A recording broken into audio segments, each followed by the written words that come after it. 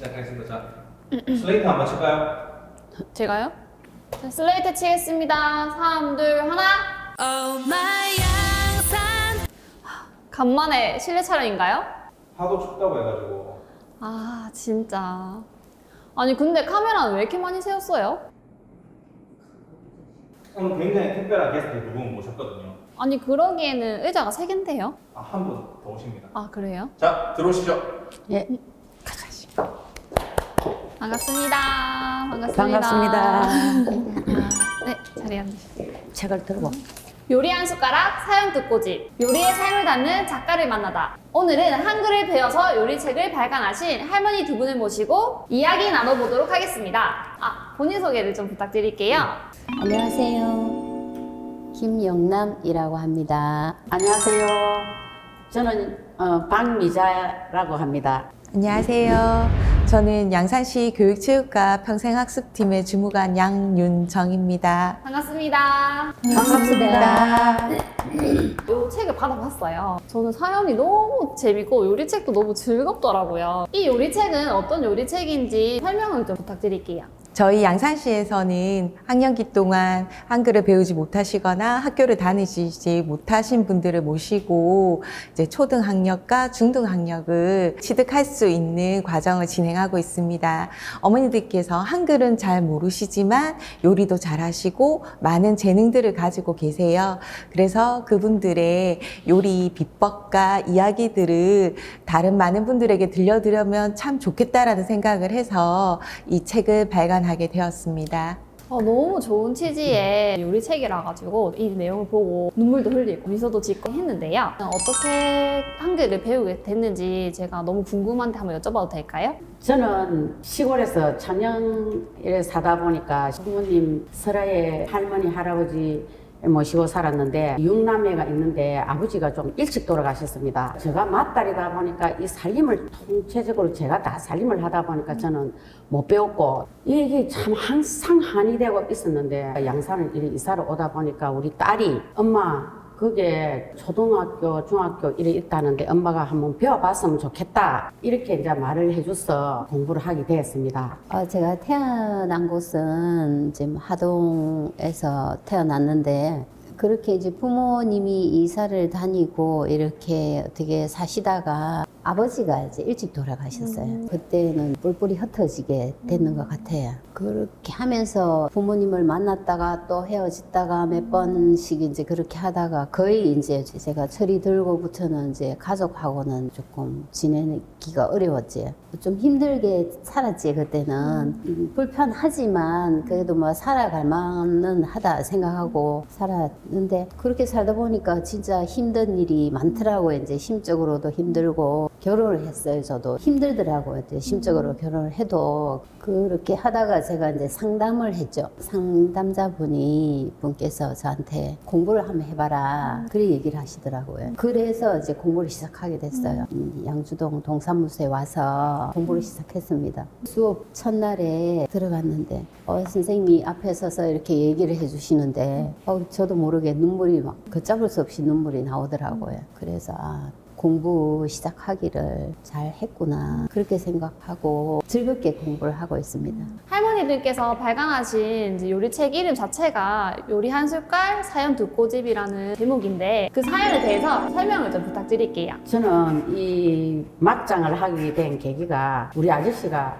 옛날에 이 막장을 참 잘하셨어요. 그래가지고 막장을 해가지고 이웃지도 막 퍼주고 이웃 사람들도 아 맛있다 이래 했는데 병으로 한 8년간 투병 생활을 하시다 보니까 돌아가셨어요.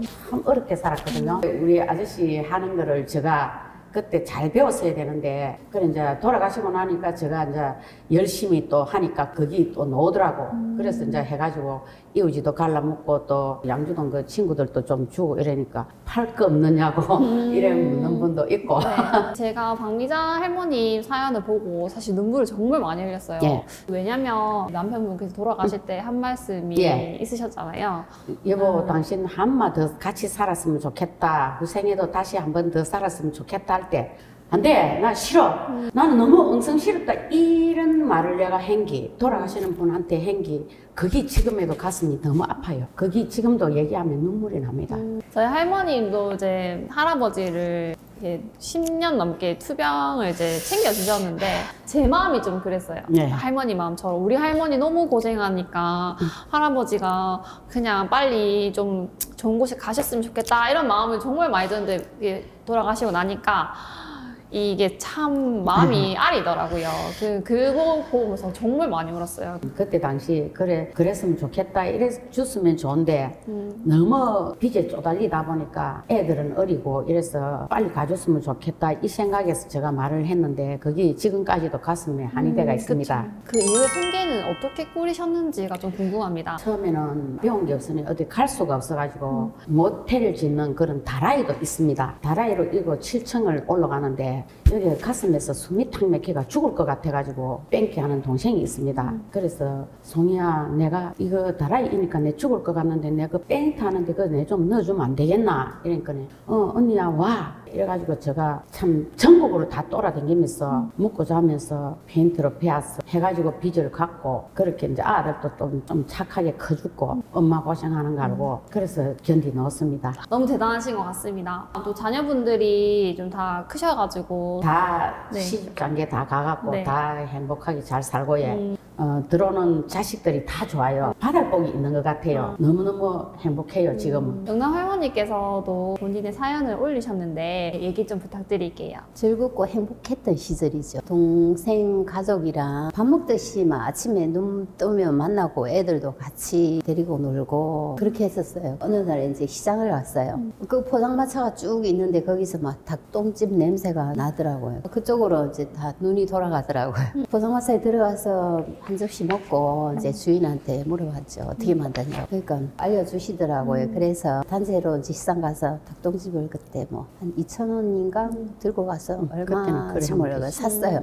네, 씻어서 집에서 볶아 먹었는데 그게 우리 행복했던 그 순간들이 생각나고 얼마 후에 동생이 이민을 갔어요. 한 몇달좀 지나니까 편지가 왔더라고요. 그때 그 닭똥집 먹던 게 너무 생각나서 그리워서 죽겠다고 저도 그 편지를 보고 같이 울고 그렇게 하다가 이제 동생이 1년 만에 나와가지고 닭똥집을 볶아 먹으면서 또 그 얘기를 또 나누고 닭똥집 이거를 생각하면 가족 화목 이런 게 생각이 나요. 아, 요리에 행복했던 그 네. 추억들이 네. 이렇게 다 담겨져 있어가지고 요리들이 더 맛있을 것 같아요.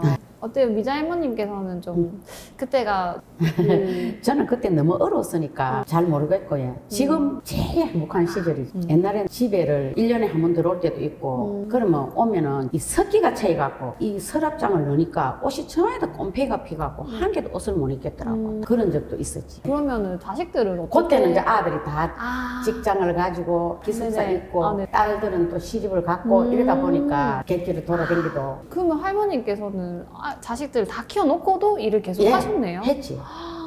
그럼- 빚을 갚아야 되니까.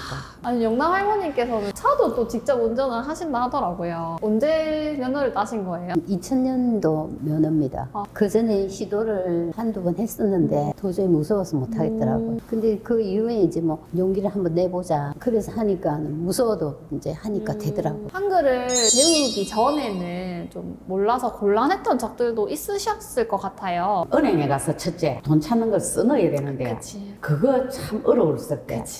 어떻게 쓰는지 모르니까 정말로 좀 알뜰히 배웠더라면 할 수 있은 거를 몰라가지고 못했던 거를 지금 당당하게 할 수 있고 주민센터 가도 써갖고 이거 띄주세요 이렇게 할 수 있고 이게 너무 좋지요.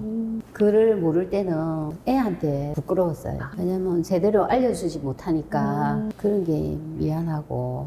맞아. 어, 그런 게 제스러웠죠. 모른다 할 수도 없고 네, 애한테 알려주기가 힘든 거예요. 그쵸. 그게 진짜 불편함이었고 조금이라도 은행 가서 뭐 대출 같은 거 받아야 된다 이러면은 뭐 서류 쓰는 게 엄청 많더라고요. 그쵸. 그러고 막 숫자도 1천을 써야 되고 이런 음. 것들이 그러니까. 있고 이렇더라고요. 그래도 자식분들께서 너무 잘 자라주시고 본인의 위치에서 역할들을 다 잘 해주시니까 되게 뿌듯하시겠어요. 네, 음. 그렇죠. 예. 제가 해준 건 없는데 그런 거뭐 감사하지. 음.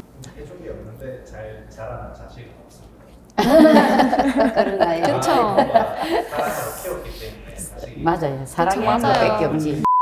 저희 할머님도 항상 얘기하시던 게 있는데 본인도 한글을 너무 배우고 싶다. 막상 안 배우시더라고요. 한글을 배워서 좋은 점이 있다면 어릴 때는 공부를 못해서 친구들이 교복 입고 다니는 모습을 보면 정말로 진- 눈물 나도록 부러웠고 하고 싶었거든요. 친구들 모임하고 이렇게 하다 보면은 친구들이 동창회 간다 소리를 참 많이 하더라고요. 너무 부러운 거야. 아, 그치. 쟤들 어떻게 동창회를 할 수 있지? 저도 동창회라는 게 한번 해보고 싶더라고요. 어떻게 들으셨어요, 주사님? 동창회 하고 싶대요. 어떻게? 준비해 보도록 하겠습니다. 예, 이제 동창이 생겼지. 이제 동... 그래서 저는 양산시도 고등학교가 생긴다면 네. 정말로 음. 저희들 소원입니다. 저는 강원도 살다가 부산 어서 살면서 우리 아이씨 보내고 아들 따라 이제 양산을 이사를 오게 됐습니다. 여기 오니까 막막한 거야. 처음 어서 사는데 가게도 없고 갈 곳이 없었어요. 친구가 없어. 그랬는데 양주동 학교로 오니까 친구도 있고 배우면서 좋고 너무 행복합니다. 비록 힘든 시절도 분명히 있었겠지만 본인의 생활을 잘 보내고 계신데 앞으로 계획하고 계신 게 있거나 양산시에 뭔가 바라는 점이 있다면 고등학교를 좀 세워줬으면 좋겠다는 거. 예. 중학교를 졸업하고 지금 이제 우리 선배가 이제 3학년 이제 더 하고 싶은 게 있으시다면 교연동화도 하고 예. 이제 미술을 배우고 있어요. 아 미술 예. 제가 제일 못하는 게 미술이에요. 연남 이 친구는 미술을 너무 이쁘게 잘 아, 그려요. 그치. 나는 미술을 아무리 하려 해도 잘 안 돼가지고 지금 아. 또한 배우러 가려고 대학교 앞에 알아보고 있습니다. 앞으로 계획은 어떤 공부를 하든 할 거고요. 또 하고 싶은 거는 손녀, 손자 데리고 바닷가에 펜션에 가서 조금 여유를 좀 즐겼으면 좋겠는데 그 이제 꿈을 꾸고 있고요. 그리고 또 동창회 빨리 해달라고. 교복 입고 동창회 한번 하고 싶어요. 네. 그리고 각자의 사연에 담긴 주인공 그 상대방한테 영상 편지를 한번 남겨보면 어떨지. 여보 잘한다고 잘했는데 좀 부족함이 많은 것 같아. 하늘나라에서는 행복하게 잘 지내고 잘 못한 게 있으면 용서해주고 사랑했어요. 돌아가셨지만이 사랑합니다.